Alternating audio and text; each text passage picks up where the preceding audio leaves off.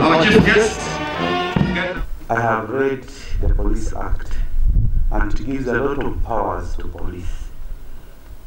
Powers to arrest without warrant, powers of detention, powers, all that can only be possible if we have trained police officers like this. So therefore, on special note, one, thank you for this special training and congratulate the trainees for having completed this important desk force. However, also thankful because recently we received about 22 officers. I see them putting on that madoa with, with a print of FFU. I don't know what it means, but this was an additional police force to our district. We are so much grateful. Because before that, were really having a police station moving only two people. Now, when the two people go out